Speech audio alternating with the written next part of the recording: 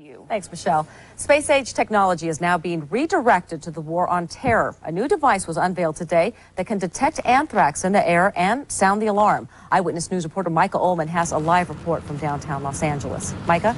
Well, the anthrax attacks back in 2001 really opened up a whole new market for the creation of bioterror detection devices that could be put in places like airports or train stations like Union Station behind me.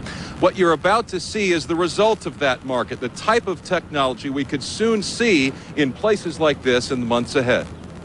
Dateline October 2001. A series of East Coast anthrax attacks kills five people, contaminates 19 others, injecting Americana with a new kind of fear, bioterror. Now, the latest device from a company that claims it can detect anthrax spores in the air within 15 minutes. Compare that with conventional methods that take days. In 2001, in the anthrax attacks in the post office, um, the alarm capability was people getting sick and that's too late. Technology developed by NASA's Jet Propulsion Laboratory to test the Mars rovers and ensure they didn't carry any bacteria to the red planet.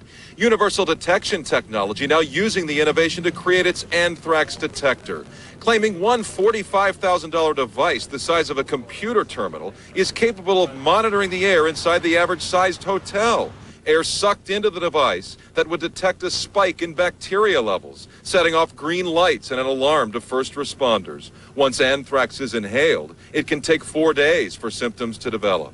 If the alarm goes off within that 15 minute period, we have four days to isolate the people that were in that room or in that environment, begin Cipro treatment, and with Cipro treatment initiated at that time, we should expect no deaths.